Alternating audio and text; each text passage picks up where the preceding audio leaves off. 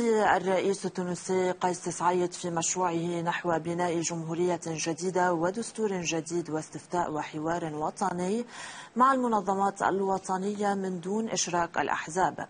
وهذا أمر جاهر فيه في خطاب وجهه إلى التونسيين الذين تلقوا إعلان سعيد الجديد الأحدي الجانب بتعجب. قالها سعيد بالفم الملآن سيستثنى من الحوار الوطني من خربوا وجوعوا ونكلوا بالشعب على حد تعبيره. تصريح رأى فيه بعض المناهضين لسعيد خطوة ستقود البلاد نحو المزيد من التفرقة والتقسيم بدل التوحيد. فيما ذهب آخرون إلى أبعد من ذلك وحذروا من أن تونس تسير نحو الهاوية ولا بد من إنقاذ البلاد والحفاظ عليها فهي تتجه تدريجيا نحو الديكتاتورية. للحديث أكثر عن هذا الموضوع وعن انعكاسات دعوة سعيد لسن دستور جديد على المشهد العام في تونس.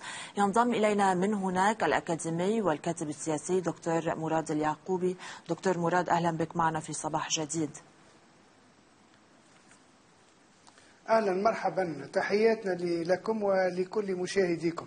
أهلا بك تعددت ردود الفعل المناهضة لإعلان سعيد الذي جاء بشكل فجائي فيما كان التونسيون يتوقعون حديثه عن الاستفتاء المنتظر كيف تنظر إلى خطاب سعيد وقراره الأحادي بخصوص الدستور؟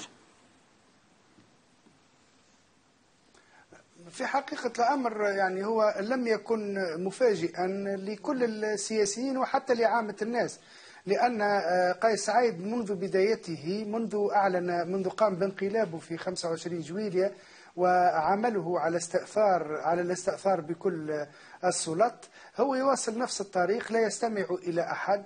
لا يشارك إلا آه، من آه، نجده مضطرين للمشاركة لسبب أو لآخر وهو يعني يسب الجميع. مثلا منتظر في خطابه أن يكون خطاب معايدة أن يكون خطاب يجمع عموم التونسيين معناها أو على الأقل أغلبيتهم الساحقة. لكن ما حدث هو خلاف ذلك تماما. يعني كلمة معايدة والبقية مشاجرة وسب وشتم وغيرها وتخوين وأشياء من هذا القبيل حتى أنه يعتبر جزء كبير من مشاكل تونس هي مشاكل مفتعلة.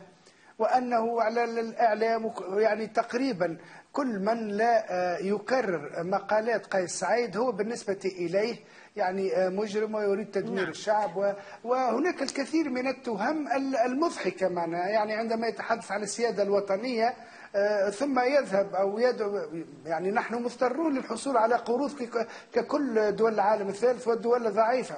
ثم فيما بعد يعني يسب أو يمتهن أو يهين يعني المنظمات الدولية وغيرها فهذه تناقضات غير معقولة نعم لكن سعيد أكد أيضا في المقابل أي حوار سعيد أكد في المقابل نعم. أن الحوار سيشمل المنظمات الوطنية الأربعة كيف تقرأ هذا الأمر؟ هل هو محاولة لإعطاء شرعية معينة لهذا الحوار؟ وهل هذا التفصيل برأيك كاف لإثبات شرعية الحوار وإبعاد تهمة الإقصاء؟ طبعا آه، هو يحتاج إلى مثل هذه المنظمات لأن ما هي هذه المنظمات؟ يعني معظمها آه، إن لم نقل كلها كلها تحتاج إلى قيس سعيد كلها تحتاج إلى نوع من الاعتراف منظمة الأعراف مثلا. طبيعي جدا أن تقف إلى جانبه حتى لا تتعرض إلى أي مس أو غيره. بالنسبة للاتحاد فهذا موقفه واضح دائما كان آه، في صف السلطة آه، لم يكن آه، كان يكتفي دائما بشعارات دفاع عن الطبقة الشغيلة وما إلى ذلك لكنه جزء من السلطة ويأكل قسمه من كعكة السلطة. فضلا عن ملفات كثيرة يمكن إثارتها ضده فضلا أيضا عن الانقلاب القانوني الذي قامت به القيادة النقابية في الاتحاد فكل هذه عناصر ضغط آه، تدفع الاتحاد إلى مواصلة سياسته في مهادنة السلطة وفي اقتسام النفوذ معها والحصول على امتيازات آه، تشمل أساسا القيادات وخاصة المكتب التنفيذي. ليس أكثر من ذلك فهذا هذه يعني مشاركة مضحكة آه، في حين أنه يستبعد بقية الأطياف معناها. آه، سنرى نظام آه، نظام حكم جديد لا علاقة له بما عرفته البشرية. هو نظام حكم مستبد ولكنه يريد أن يأخذ سمة أو صفة الأنظمة الديمقراطية ويقول إنه ديمقراطي. ثم يقوم بإلغاء كل المؤسسات الدستورية ويقول إنه دستوري أنه يعني يحترم الدستور. فهناك تناقضات أصبحت مضحكة يعني ومثيرة للإشمئزاز لأنها يعني غير مقبولة في أي مكان طيب وأي منطق لا يمكن أن نقبلها. نائب عن حزب قلب تونس نعم. يقول إن كل شيء مفصل على آه، مقياس سعيد ومن أجل حملته آه، الانتخابية وبالتالي يعتقد أن دستور آه، سعيد جاهز وأن القوانين والمراسيم آه، ستصدر آه، تباعا. سعيد يقول أنه سيتم إقرار الدستور الجديد آه، وفق الاستفتاء. هل تتفق معه في هذا النقطة أم أن التونسيين سيتصدون لهذا الدستور المفروض عليهم والذي سيؤسس لنظام سياسي جديد أيضا؟ أنا ما أقوم به هو تحليل كلام سعيد نفسه. قال إن الهيئة العليا التي سيضعها سيضعها لوضع الدستور وما إلى ذلك تقريبا في بضعة أيام لأن كل شيء جاهز. هذا قالوا بلسانه معناه آه، اولا نتساءل الحوار اذا لما حول ماذا سيتم؟ إذا كان كل آه، كل شيء جاهز فما الفائدة وما ما, أي معنى للحوار؟ مسألة أخرى يعني دعوته لبعض الوجوه التي عرفت في تاريخها بتبريرها لسياسات السلطة وغيرها آه، فهذا يدل على أنه آه، يعني يجمع حوله الطامعين الطامعين الحقيقيين في في السلطة وفي الحصول على بعض الفتات ليس أكثر من ذلك.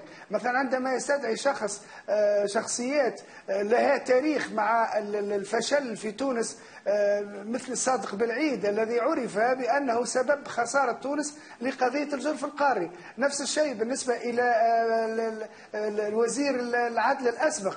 والذي آه، يعني ما نذكره نعم. منه تقريبا الشيء الوحيد الذي نذكره عنه هو أنه تصدى أو أراد طيب. إلغاء الفصل 230 طيب. سؤال أي القانون الذي يجرم اللواط نعم. فهل هذه وجوه لإقامة مستقبل مشرق للبلاد؟ طيب ماذا عن مصير الاستفتاء الذي لم يتبقى آه، له سوى ثلاثة آه، أشهر ولا نصوص حتى الساعة تبرز احترام سعيد لهذا الموعد وأين دور المكونات السياسية والأحزاب المدنية في التصدي آه، لهذه المشاريع من قبل الرئيس سعيد.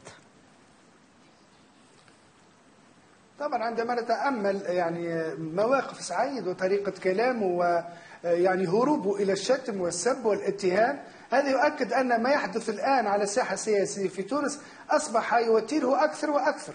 يعني عندما أحس بالفعل أنه فقد كل أتباعه وكل مناوئيه من الأطراف السياسية وغيرها التي آه، ساندته وحرضته على الانقلاب ثم لم تجني شيئا وظلت هناك يعني في موقف معلق. فهو له هذا الإحساس وله إحساس أيضا وهناك أمور تؤكد هذا واقعيا أن المجموعات السياسية التي أصبحت مناهضة له وتحركات المجموعة التي تريد آه، القيام بعملية الإنقاذ نعم. أصبح لها امتداد ولها حضور بين الناس يعني حضور جماهيري فهذا بالفعل يؤثر كثيرا عليه وهو ربما بفعل ذلك الضغط يزداد اتجاها ويزداد تعمقا في نفس الاتجاه وهو السب نعم. والشتم وعدم العودة إلى المنطق أو إلى الحوار أو شيء من هذا القبيل. شكرا لك الأكاديمي والكاتب السياسي الدكتور مراد اليعقوبي. كنت معنا من تونس.